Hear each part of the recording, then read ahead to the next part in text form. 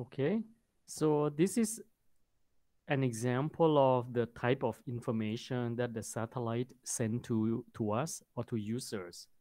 We call this information embedded in navigation message. Okay.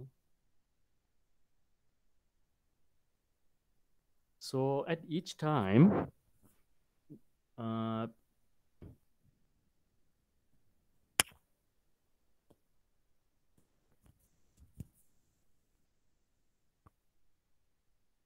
so at each time they send this type of frame data frame. So each frame consists of uh, five blocks okay? One when one frame is finished you send the next frame. And each frame you know uh, is sent with 30 seconds.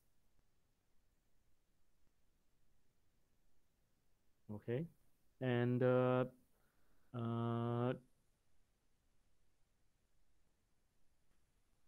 uh, actually, uh, for for the total of uh, five blocks, it takes about 30 seconds. Okay, and then one when one frame is finished, then you send the next frame and the next frame and so on. I think total they call super frame or something like that. Yeah. So each block there are different types of information like uh, clock correction, satellite health, accuracy, and then satellite co uh, position coefficients, you know, and so on. Okay. Ah, they call subframe, not blocks. So this is what is called subframe. So each frame consists of five subframes. Total takes about 30 seconds to send to us. When one frame is finished, then you send the next frame and the next frame and so on. Okay. Depending on how many satellite also. Okay. Okay, so that's it. We will have like another, another lecture on satellite orbit information, very, very detailed, okay? So before I go, uh, we can talk about a little bit more about the type of data transmission by GNSS satellite, okay? In general, in communication uh, transmission, uh, for the data that are transmitted to us, we can looking at the multiple access. Multiple access means um, how do we access the frequencies, you know, available. One is called, especially when you have um, many users, okay? Multiple, let's say multiple users and all the users want to access the frequencies at, at the same time. So what are some uh, techniques used? So if you have heard of this before, there are three types. One is called time division, multiplexing, uh, multiple access, time division, multiple access, okay? So in the first case, TDMA is a time-based access.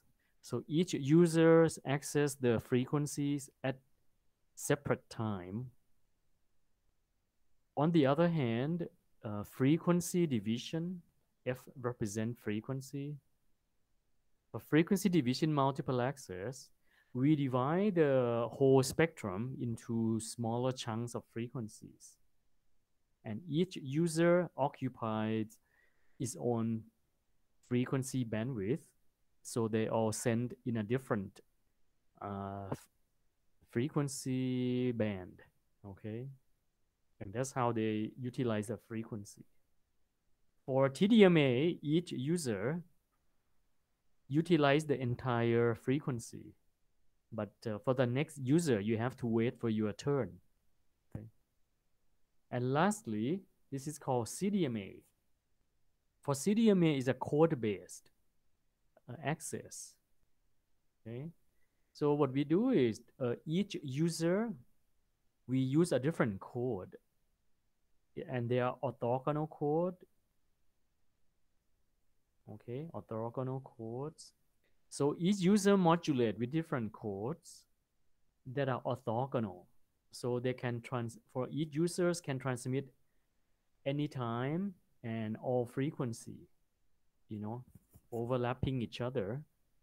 But then on the receive side, you can uh, bring out in a uh, signal from each user or each satellite in this case, okay, uh, by selectively by selectively extract the user information based on the orthogonal code.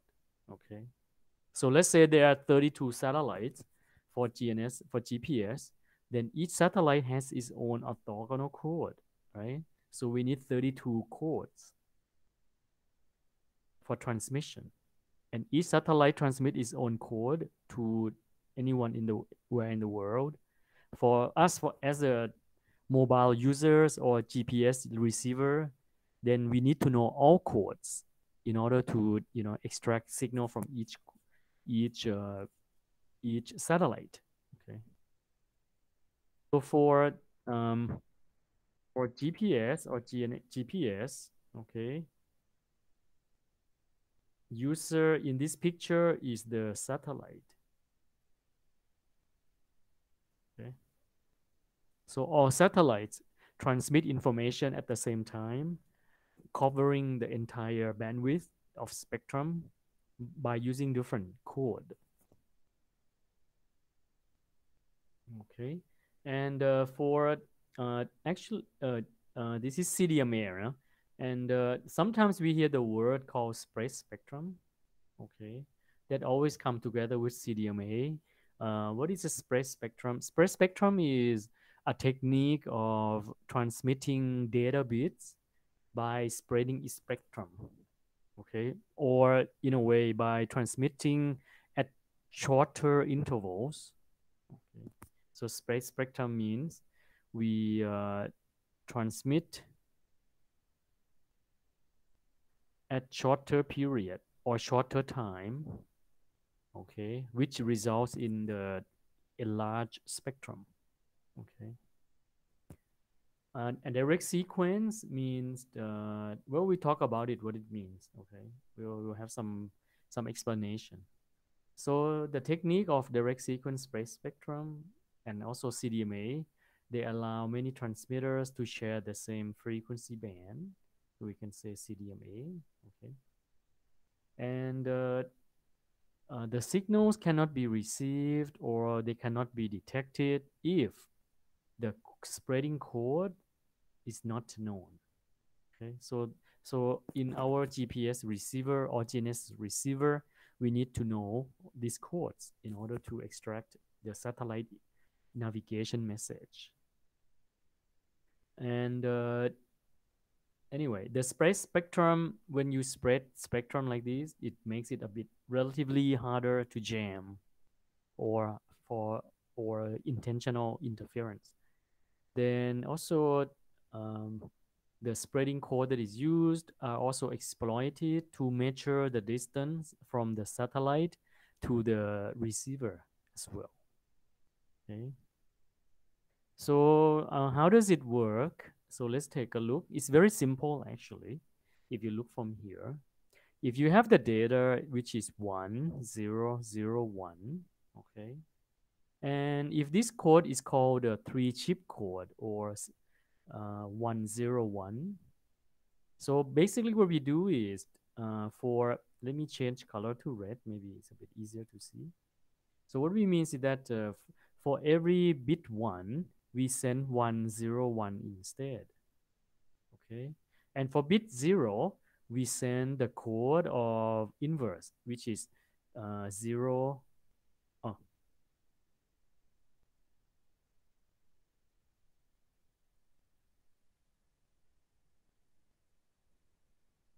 Oh, sorry. Uh, let me do this. So the way we modulate and we convert from the data bits into the code is like this. So if this is 101, okay, which is data, and this is the code, which is the 101.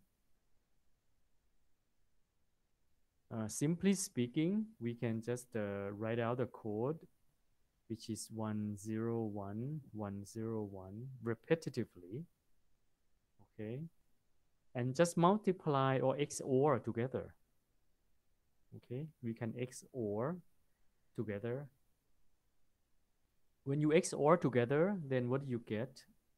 You just get a 101 and then inverse 0, 1, 0, 0, 1, 0, 1, 0, 1. That's all. Okay.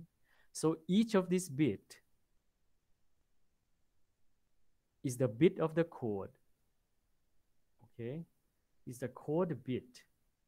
And in communication, we don't call code bit, we call chip. Okay, so that means that in this case, for each data bit becomes three chips okay. Chip just means small parts. Okay. So this is an example of what it is. Okay. So on the transmit side we get uh, the transmitted signal with shorter period. Okay. Because the chip is smaller. If you use a three chip code then the chip has the period three times smaller than the data. If you use a if you use like a 15, 15 or 16 chip code, then each bit or each chip, you know, is the 16 times shorter than the data.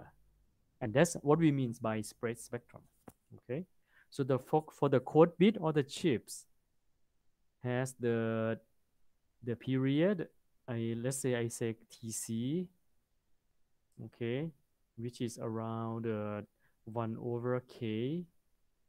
Let's uh, let's call spreading factor as k, okay, 1 over k of tb, okay. Therefore, the bandwidth, if we talk about NRZ and we only look at the main lobe, okay, the bandwidth of the code is around three times the bandwidth of the data. Okay, so it's just the concept of communication that we're talking about. So this is for the transmit side. So on the receive side, what do we do? Well, if we know that uh, these are the transmitted chips, okay, we just multiply it with the code. That's all. Oh, not multiplying, sorry. In this case, the, we XOR, okay? If we're talking about 1 and 0, then we do XOR. If we talk about amplitude of 1 and minus 1, uh, we multiply. So that depends on how we talk about it, okay? All the same. So, so in this case, on the receive side, what do we do? We multiply, uh, we XOR the transmit, the, let's say receive signal, okay? The transmitted signal that we receive with the code. Okay. If you synchronize the code well, then you won't have any problem. And when you do XOR, so you get what is supposed you to get, you know, one XOR one, you get one. Zero XOR zero, uh, then you get one. And then one one, you get one. Okay and uh, and uh, what else? Yeah, just you just keep doing this, okay, and this is what you get as the received data, okay. But if you if you multiply with the code, a different code here, if you multiply with a code that is orthogonal, then when you multiply, what happens is you will get uh, for each period, you will get you know, half positive and half negative. And when you sum together, you get zero. Okay. So orthogonality helps when you do this. Okay. Okay, let's talk about spreading code then. So uh, typically the bit duration is 20, 20 millisecond Okay, so this is one bit. uh, we transmit the navigation message at 50 bit per second. Okay. So each each uh, each period, uh, each bit has the length of 1 over 50, which is 20 millisecond. Okay. So that's the length of each bit. And uh, for CA code, okay, the data bits, they are spread with the CA code, which is based on the Gold code.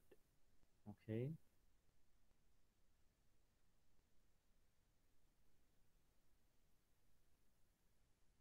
So for each data bit in here, we have 20 code periods. Okay. So each of these is one code periods with 1000, 1023 chips. Okay. So total here, basically we have 20 multiply 1023 chips. Okay. On the previous page, uh, we had three chip code, right? A code with three chips, meaning that one bit is expanded into three chips. But for GPS, for CA code, one bit, uh, uh, the, the code that we use is 1023 chips. And we repeat it 20 times. Okay. Uh, do you get it? You get this page? Uh, what I mean? G, uh, Pure? Any question, just in case? We'll talk about code code on the following page.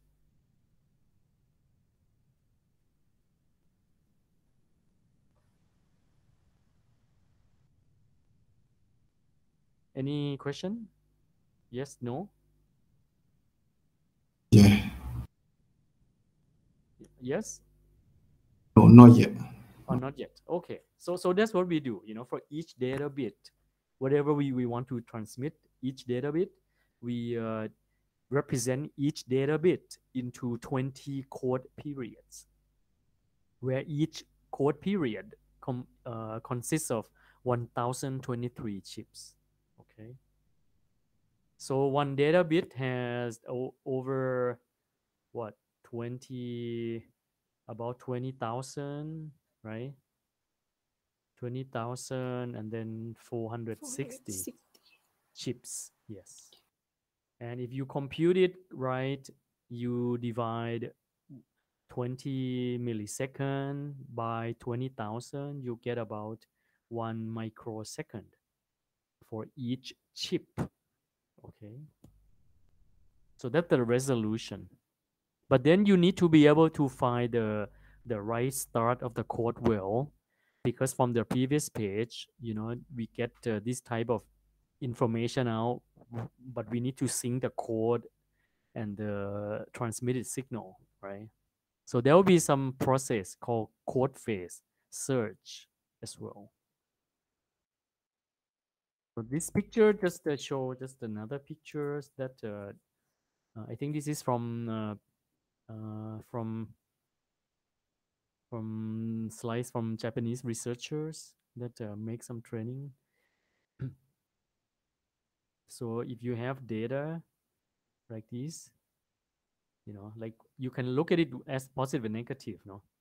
Data, you can just multiply with the code, okay?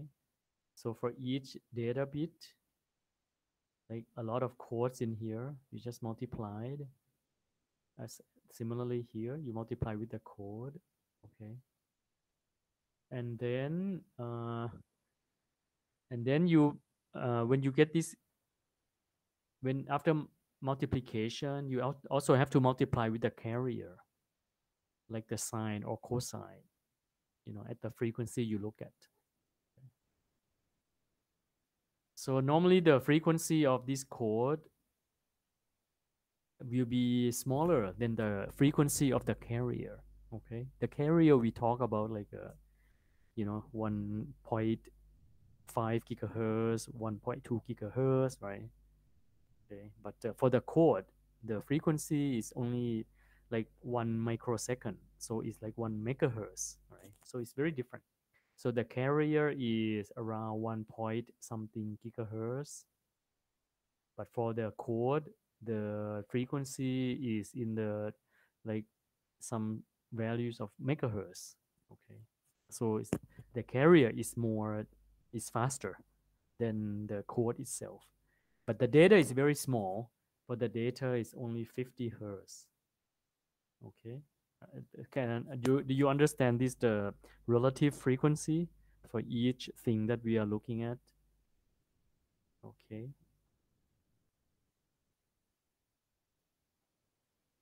Okay, if you multiply with the carrier like this, it's just it, it's just BPSK signal.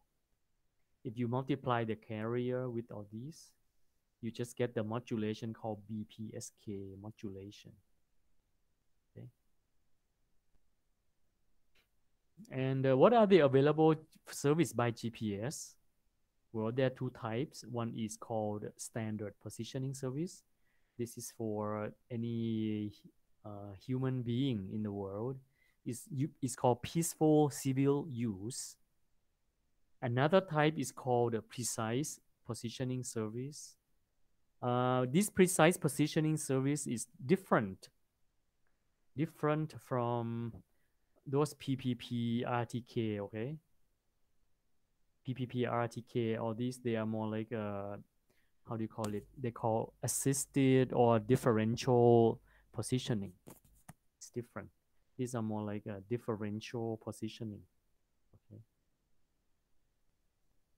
But for precise positioning service or PPS, this is normally used by military, meaning that you get good positioning, but you don't have any, you don't need any extra correction or differential. You don't need base station. It's, it's different. Okay. So the users that can use this type of precise positioning service, they have they have to be authorized by the Department of Defense. Okay, so they can be U.S. government, military. They can be uh, how do you call it? Like uh, the nations, the countries that are friendly to U.S. Okay, so but it's not just for any human, any any citizen to use. Because the remember that GPS system was devised early on for military purpose. Later, later they release it and they open it for for the public use. But at at the beginning, it was more for military. Okay. So what are the signal structure for the GPS? Okay. Well, first, of course, you have carrier, right? High frequency, like L1, L2, L5 frequencies. Then you have the code that you have to spread the data bits, right?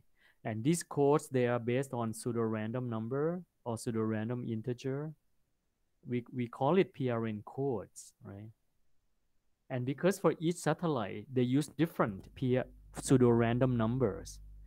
So we represent each satellite by PRN number, like PRN1, PRN2, all the way to PRN32, for example. Okay, so now you know where it comes from, right?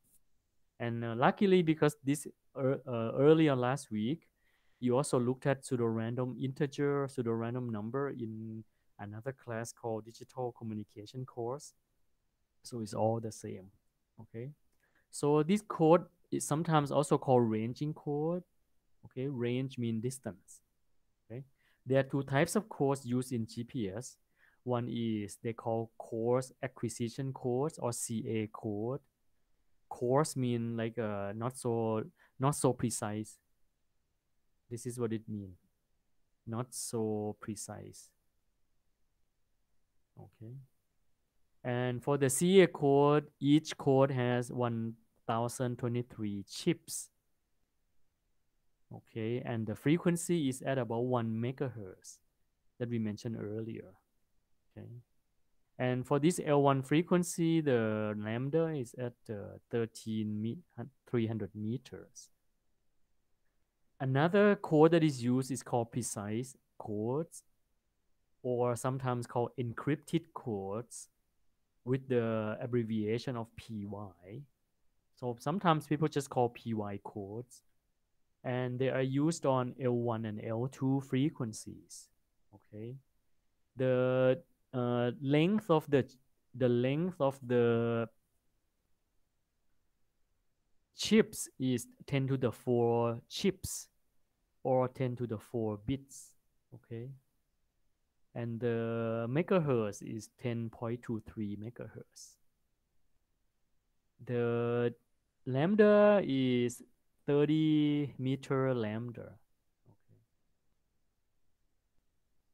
I think 300 meters lambda is based on here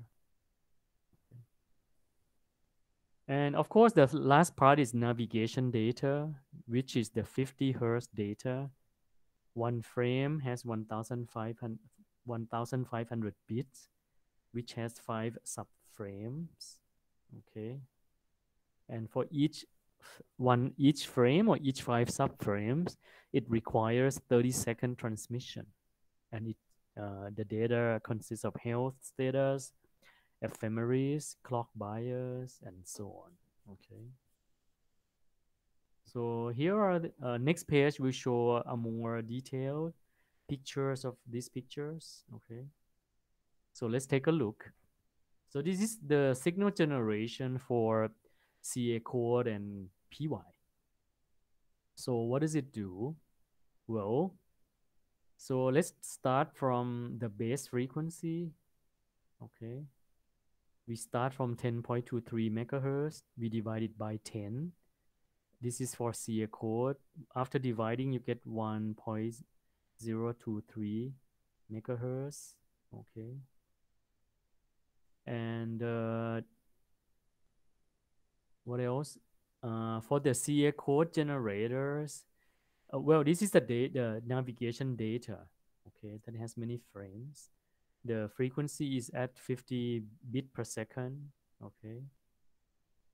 So it will be added to the CA code. It will be added to the PY code okay? And the PY code itself also enters this switch by itself as well okay so this CA code and data that we encode, that we do the spread spectrum, they are modulated by BPSK.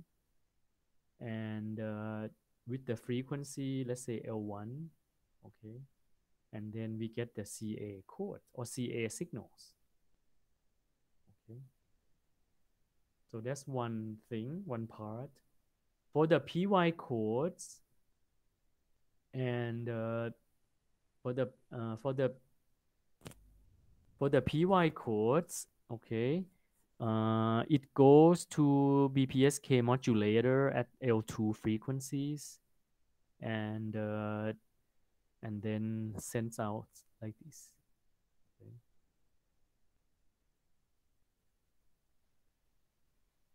For the PY codes that uh, used to encode the data, or do spread spectrum. Okay. You will uh, send it to BPSK modulators together also with L1 and then add it to the CA codes. Okay. So for L1, we transmit using PY codes, PY coded data, and also CA coded data. Okay. This is for L1. For L2, it is based on PY only. So that's the difference. Okay. So PY, they enters at both frequency, both L1 and L2. Okay. And uh, for CA codes, CA coded data, they just uh, based they are they are in the L1 only. Okay. So these are the two different signal generation. Okay. So here just the, the uh, comparison between PPS and SPS. For the PPS, based on PY, they reside on both frequency L1 and L2. for the standard positioning service is based on CA code only and it's in L1. Okay. And that's why in most consumer devices, you don't need P2, uh, you don't need L2 frequency. You only need to have L, uh, L1 frequencies only. L2 is not for you to use. Okay. But of course, P2, you can use it. Uh, uh, you can use it to come up with the range type information and all that as well. Okay, but uh, it's more for like a more expensive type of uh, the receiver, like the one that we use in our lab. Okay, and what are the power that you know transmitted for these GPS signals? Very low. If you take a look, it's, it's below minus 150 decibel watt. Okay, so it's very, very low. Okay. But of course, after going through a few blocks at the receiver, it will result in higher SNR. Okay. So in this page, we just say uh, for L2, L2, you use the uh, data multiply with the code and then and then transmit on frequency L2. This is data. This is code py codes okay for l1 we have the same data and then multiply with the ca code okay don't forget ca code the length is only the length is only 1023 bits okay? Or chips chips. But then py codes the length is 10 to the 14 bits or chips. So it's very very long no extremely long, I like one week long, something like that. But L1 frequency also consists of the data and also uh, PY code as well. Okay. Uh, when we receive the L1 frequencies, we extract only CA code because we don't even know the code for PY. Okay. So that's what happens. But for the military, they have the PY, so they can they can extract the data. Uh, we can receive P, P2, we can receive L2 frequencies. Okay, but we will not get the data from there. We only can compute the range because we receive the time. Okay. So that's the difference. So we can get uh, anything out of the CA code, but not but nothing out of the PY. Okay.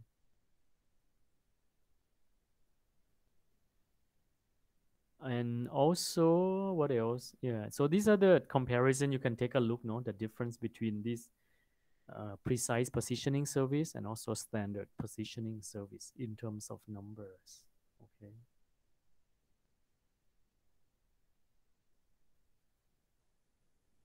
Uh, for receiver, uh, the receiving system consists of antenna, receiver front end, and also processing.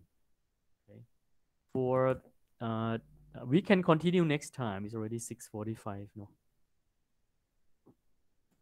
So for uh, for receiving purpose, you use antenna for signal reception for different constellation. Okay. For the RF front end, this is for the analog processing. You do filtering, you convert to lower frequency from L1 or L2, you convert to lower frequency. Then you do sampling or A to D, and you do quantization to make it like digital. Okay. And then from there, for processing, we do signal processing, which includes correlation, acquisition, and tracking. We'll talk more next time. Okay. Then once you do once once once you acquire signal, meaning that you acquire the right frequency, we need to acquire the right frequency because of the Doppler system. You need to track the code, or you need to track frequency as well, and you also need to track the code or code phase to see where the code starts, so you can get out data okay? Then you demodulate to get the data navigation data okay? You can then you can compute pseudo range then you can compute positioning then you can measure performance and so on okay anyway so uh, I think we will end here. We don't finish the whole slide. It's okay. We'll continue next time. So next time we will talk about these three steps. I think they're about 20 slides. Okay. And uh, it's a bit slower than normal. So uh, be patient with me. Normally I talk about these slides for three hours, but I think uh, evening time is just too horrendous to have three hour lectures. So uh, we can go slow, but we can do it every week. Okay. If we have time, we can add in the extra lecture in between. Maybe that helps as well. Yeah. That's what I think. Okay. So any question with you? Yes. Yes, please ask. In in DOP. Yes. In what? What page? Uh, Oh, let me uh, wait, wait. Let me uh, stop the recording. Okay. I'm oh, sorry. No, no, it's okay. It's okay.